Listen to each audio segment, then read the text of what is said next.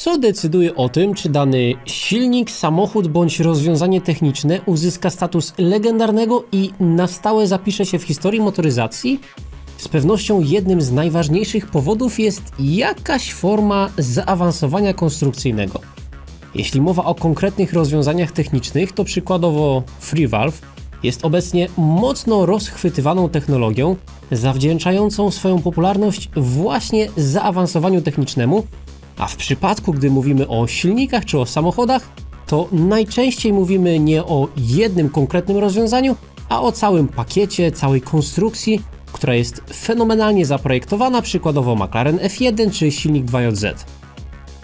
A czy coś, co wcale nie bryluje pod kątem techniki lub wręcz jest kiepskie, mimo to jest w stanie przebić się do Panteonu i uzyskać status legendy?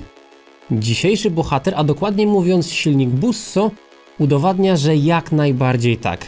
Brzmi ciekawie? To zapnijcie pasy, jedziemy.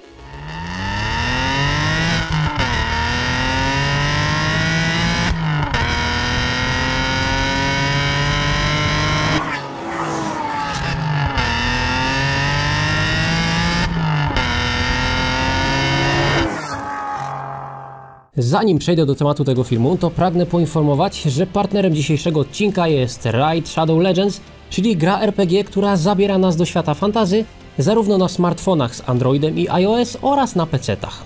Dwa słowa na temat gry. Kompletujemy naszą drużynę czempionów i na arenach walki toczymy nimi boje z innymi graczami lub z potworami i bossami. Do zdobycia jest ponad 500 czempionów, z których później budujemy naszą drużynę, a dodatkowo każdego z nich możemy levelować i rozwijać o nowe umiejętności. Daje to niemalże nieograniczone możliwości budowania naszej niepokonanej drużyny. Od strony technicznej gierka prezentuje się naprawdę świetnie. Wciągający gameplay, super grafika i co najważniejsze, ciągle coś się dzieje nowe eventy, dodatkowe aktywności i ciągłe aktualizacje powiększające zawartość gry. W tym miesiącu otrzymaliśmy nowych czempionów, jednego legendarnego czempiona, specjalny Fusion Event oraz turnieje rozgrywane pomiędzy graczami, więc to świetny czas, żeby do gry dołączyć. W tym celu wystarczy kliknąć w link w opisie filmu lub zeskanować kod QR. Dzięki temu na start otrzymacie dodatkowe uzupełnienie energii, spory boost expa, czempiona Chonoru 200 tysięcy srebra i starożytny odłamek, którym możecie przywołać nowe czempiony. Wszystkie te bonusy będą czekać na Was w skrzynce odbiorczej przez 30 dni. Tak więc nie pozostaje nic jak dołączyć do gry, link zostawiam Wam w opisie, a teraz wracamy do tematu tego odcinka. Mimo, że dzisiaj nie mówimy o samochodzie, a o silniku, to i tak nie sposób nie zacząć od odrobinki historii. Lata 60. Alfa Romeo rozwija się prężnie, ma na swoim koncie wiele świetnie sprzedających się modeli samochodów. Na wyróżnienie zwłaszcza zasługuje Giulia, która okazała się szczególnie popularna wśród klientów, a większość ich pojazdów napędzana jest wspaniałymi włoskimi rzędowymi czwórkami. Skoro jednak interes się kręci, to naturalnie trzeba podbijać kolejne segmenty rynku. Alfa postanowiła więc zaatakować motoryzacyjną wyższą półkę. Jednak droższe i wyżej pozycjonowane modele muszą równocześnie być jeszcze odpowiednio szybsze, do tego więc potrzeba odpowiednio mocnej jednostki napędowej. Czterocylindrowy rzędowy silnik do tego się nie nada, więc postanowiono stworzyć kompaktową V6. I już na początku lat 70. nowa jednostka napędowa była praktycznie gotowa, jednak w 1973 roku nadszedł kryzys naftowy, który zakończył erę beztroskiego palenia benzyny w przerośniętych, kiepsko zaprojektowanych silnikach. Świat zaczął zwracać nagle uwagę na ekonomię, więc Włosi z wprowadzeniem nowej V6 się nieco wstrzymali, przeczekując okres niesprzyjających nastrojów społecznych. Finalnie dopiero w 1979 roku nowy włoski sześciocylindrowiec zadebiutował pod maską Alfa Romeo 6. Oczywiście nazwa samochodu nawiązywała właśnie do sześciu cylindrów i to w sumie właśnie przy nazwach chciałbym się na chwilę zatrzymać. W jaki sposób nazywają swoje silniki Niemcy, Japończycy, Amerykanie czy Brytyjczycy? Cóż, na całym świecie oznaczenie kodowe silnika stanowi najczęściej kod nawiązujący do konstrukcji bądź segmentu tej jednostki, stąd mamy na przykład takie kwiatki jak S54B32 w BMW czy K24A3 w Hondzie. Tutaj jednak mówimy o Włochach, narodzie ekstrawertyków, w którym wszystko musi mieć piękno, uczucie i ładunek emocjonalny. Stąd nowa jednostka V6 ochrzczona została oznaczeniem Busso na cześć Giuseppe Busso, czyli ich dyrektora technicznego, który ów silnik zaprojektował.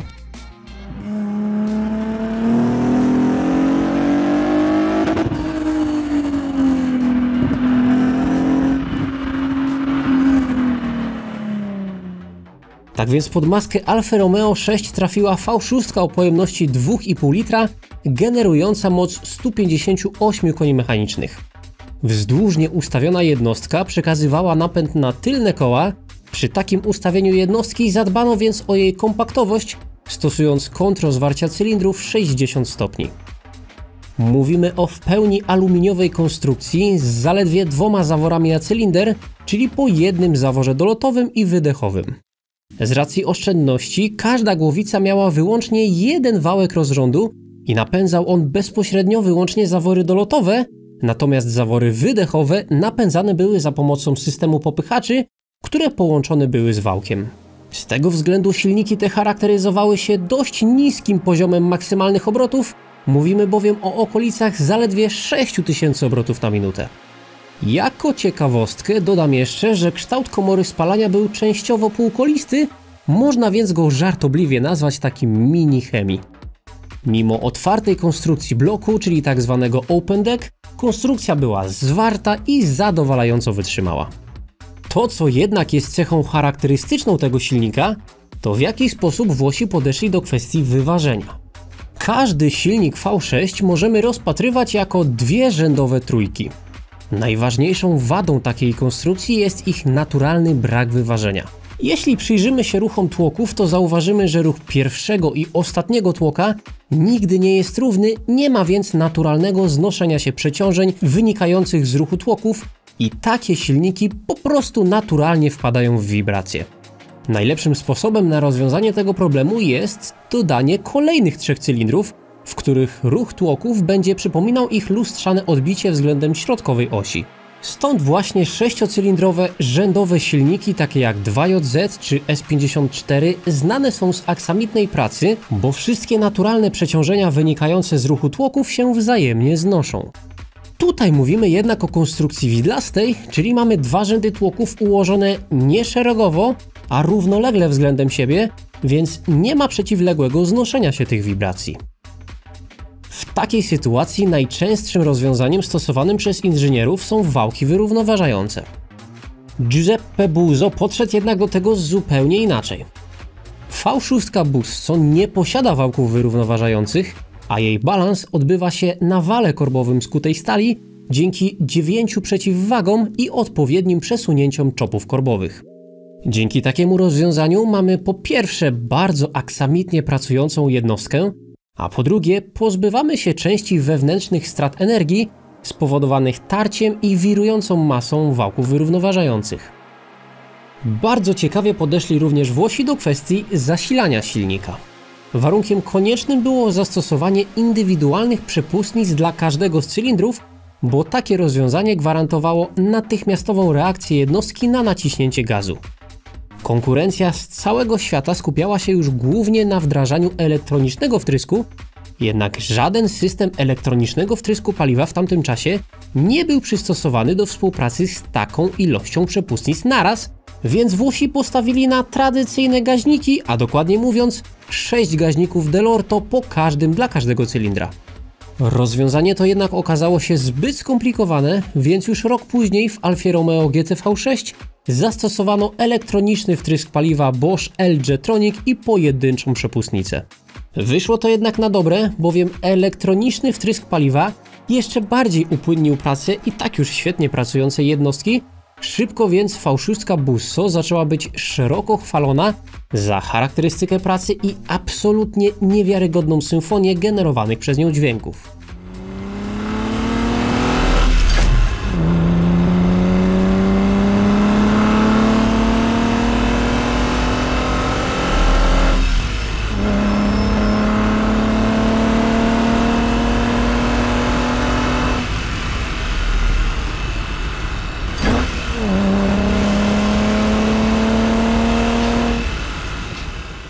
Natychmiast fałszówka zaczęła być umieszczana w wielu modelach Alfy, jednak spora zmiana nadeszła w roku 1986, kiedy to Fiat przejął Alfa Romeo.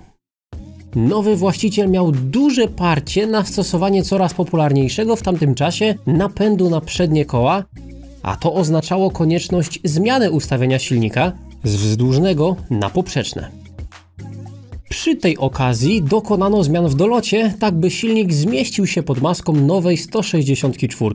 Dotychczas dolot znajdował się pomiędzy rzędami cylindrów, w nowym ustawieniu jednak cały silnik pochylono pod kątem, a dolot umieszczono nad jednym rzędem cylindrów i z niego poprowadzono rury do portów dolotowych.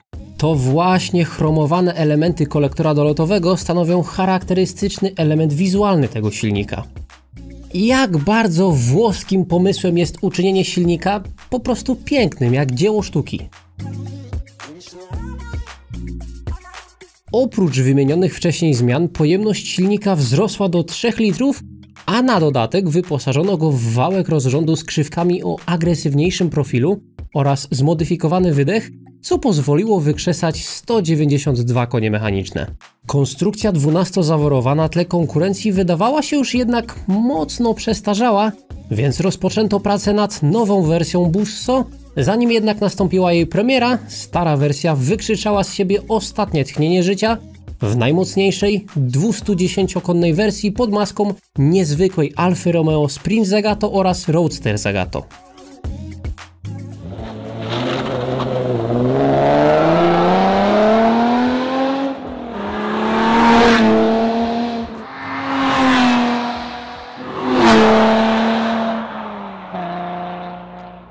Praktyce jednak okazało się, że 12-zaworowa wersja wcale nie umarła, bowiem znaleziono sposób na przedłużenie jej życia i podniesienie jej wydajności.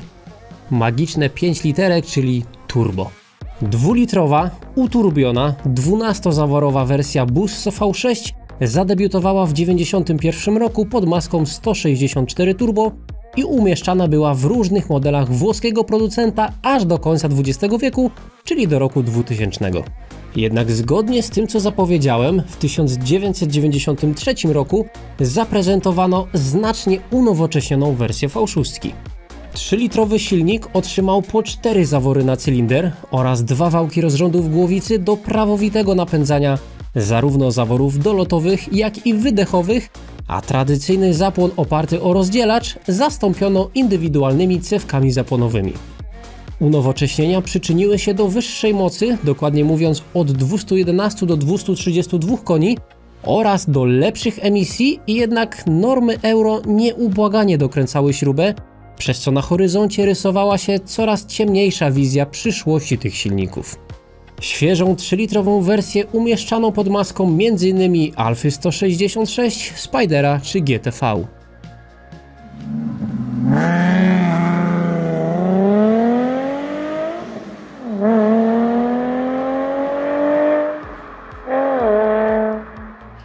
Ostatnie tchnienie Busso nastąpiło w roku 2002, kiedy to zaprezentowano ostateczną wersję fałszówki o pojemności 3,2 litra z mocą okrągłych 250 koni. Umieszczano ją w najbardziej usportowionych wersjach Gran Turismo Allegrita, czyli 156 GTA, 147 GTA oraz w alfach GTV i GT.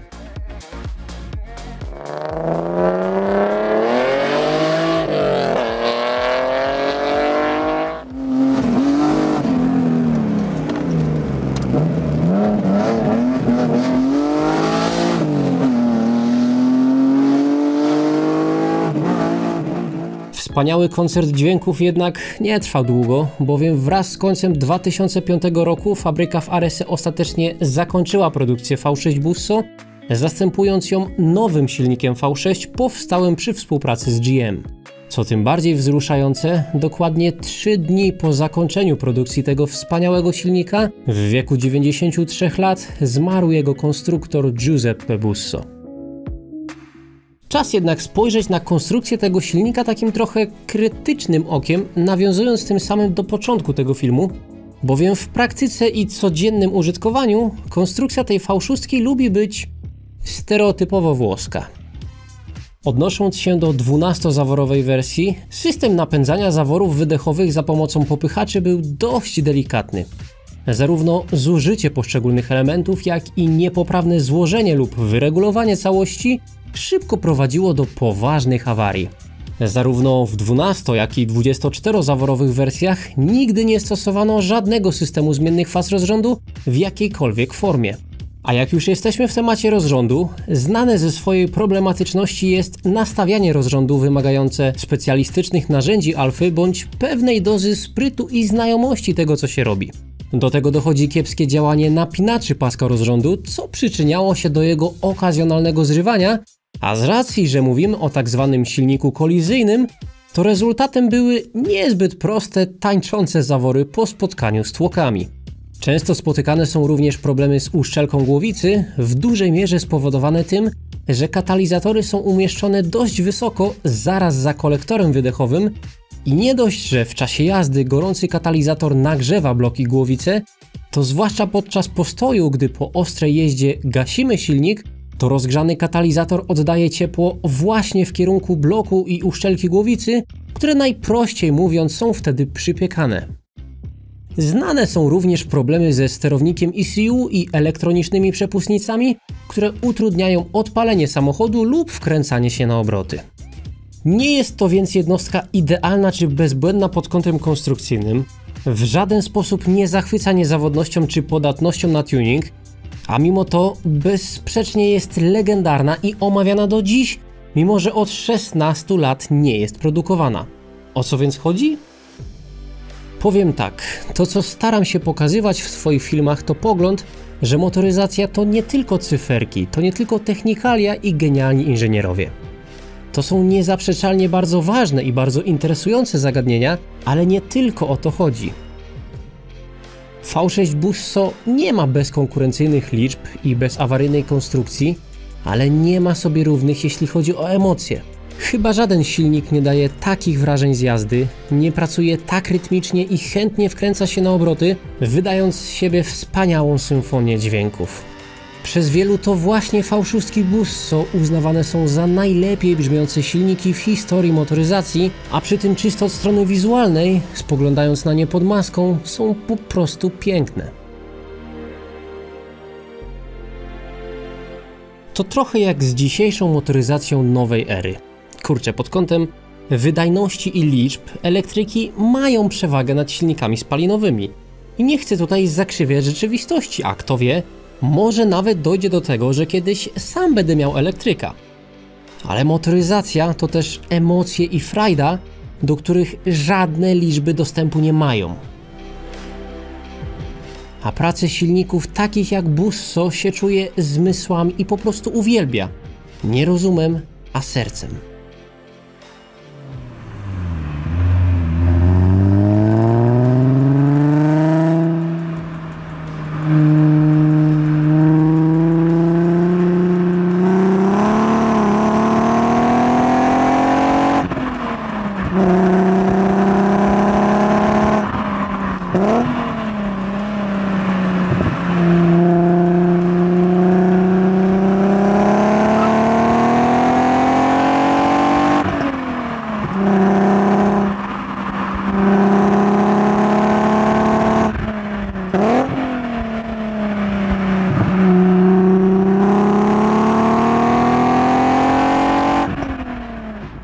Coś niesamowitego.